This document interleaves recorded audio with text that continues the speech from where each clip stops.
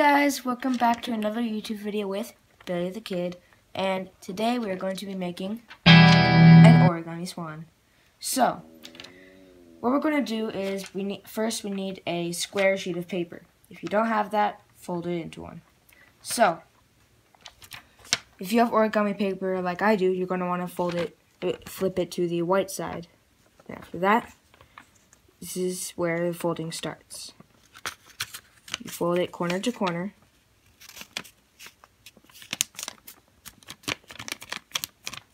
Make the crease and unfold it. Now you have this diagonal thing. So after that, you're going to take both edges and fold them together. You're going to also do that the other way.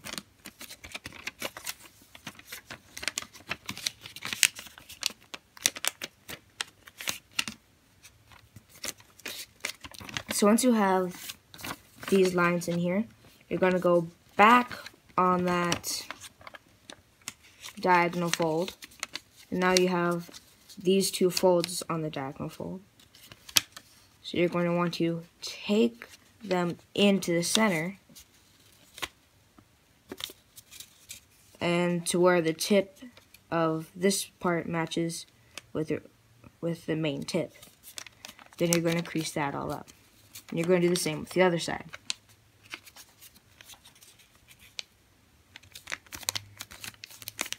Once you have this, you, you have a choice of going like this, which I like to do it, where you will basically set up the paper for the next fold. And you're going to do that for all the four other sides.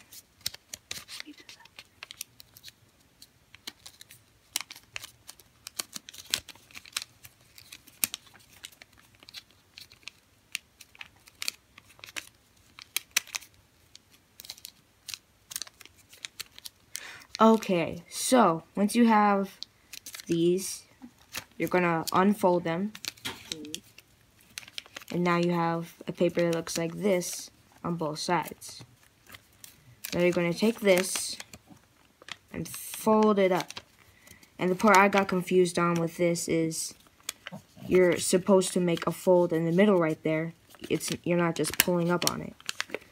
So these parts should be moving in. If not, just just kind of move them into that into their place until it looks like a point.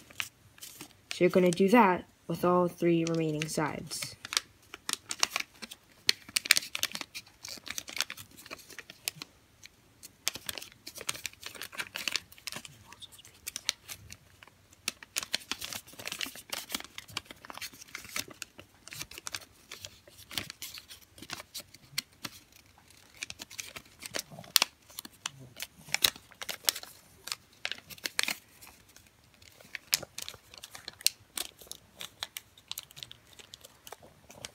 And you're back. Once you have something that looks like this, you're going to fold it.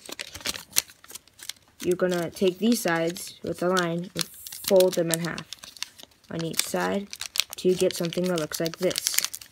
Kind of looks like a skull with horns. So, now you're going to take one of these and just, oh no, you're going to fold these up first. Both of them. Afterward, you have four spikes going up. You take one of the main ones that was already up and fold them outwards like this and just make that crease. Can do the same thing with the other side and have that. So now you are basically done. You just need to pick one of the folds you made and just push down on it a little bit like that. Crease it. And now you have the head. So there you go, guys. It's an origami swan, and if you did it, if you did it everything right, it should be able to flap. So that's how you make an origami swan, and as always, I hope you guys like this video. Bye.